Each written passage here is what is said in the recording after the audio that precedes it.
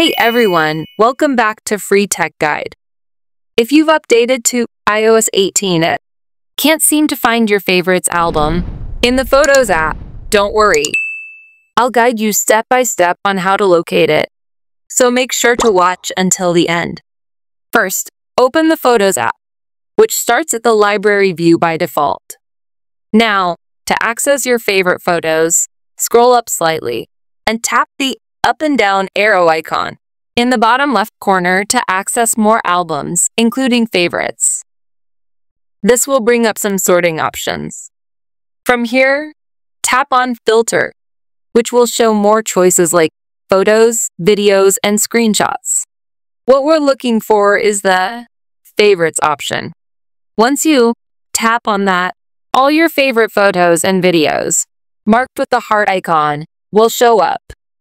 But what if you still can't find your favorites? There's another solution.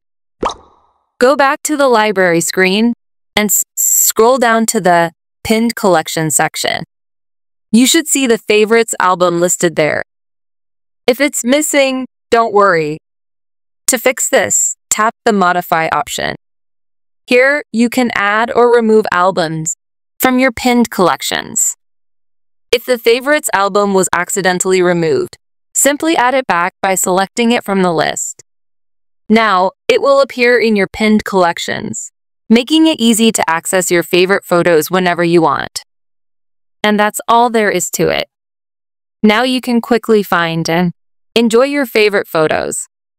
If this video helped you out, don't forget to give it a thumbs up Subscribe to Free Tech Guide and hit that notification bell so you never miss out on future tech tips.